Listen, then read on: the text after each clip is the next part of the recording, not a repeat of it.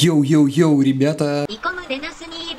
Так, Саня из Самары. Саня из Самары, блин, Макс Салоха, Санек, Техасский электрический стул, э, клуб «Подвал».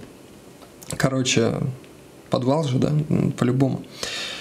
Женский пляжный волейбол без мяча. Не знаю о существовании такой спортивной дисциплины, но знаю, что моя подруга Надя Комарицкая, она, кстати, есть в Инстаграме, может быть, мы с ней снимем какой-нибудь выпуск, потому что она со школы, как мы знакомы, занимается волейболом и сейчас тоже профессионально занимается волейболом пляжным. Они ездят там по всему миру, Испания, Бразилия, там куда угодно на какие-то турниры, выигрывают какие-то кубки, у них там команда, они супер про. И почему бы и не записать, потому что, в принципе, если есть запрос, я попробую уговорить их, чтобы они сыграли без мяча. Специально для тебя, друг.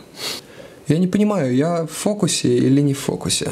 Леха Набоков, Ай, блин, Семен или Коза?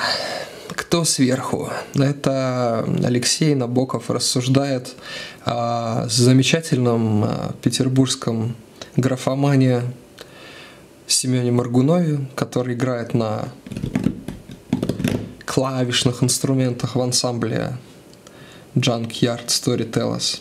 И о козе, точнее козле, которую Семену подарили в аренду на день рождения. Кто из них сверху? Я знаю, что козлы, в том числе и козы, не очень умеют лежать. Ну, типа, кроме как на бачку. Есть вот эти козочки, которых пугаешь, и они такие, оп, мы умерли. Мэ».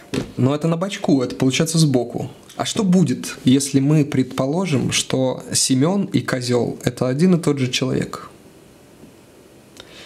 Мне кажется, вот ответ на твой вопрос, Леха. Семен Маргунов спрашивает меня, как правильно переходить с легких на тяжелые, а я не знаю, что ему ответить. Я думаю, это как с дорогой, просто жди зеленый свет.